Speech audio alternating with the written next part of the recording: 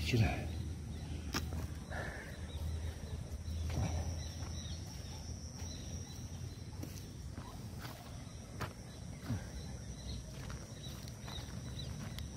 Tá, deixa eu levar o carrinho lá.